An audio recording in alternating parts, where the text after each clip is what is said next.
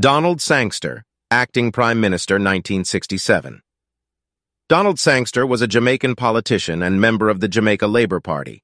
He served as the acting Prime Minister of Jamaica in 1967, after the death of Sir Alexander Bustamante. Sangster played a significant role in the development of Jamaica's tourism industry and worked towards improving the country's infrastructure.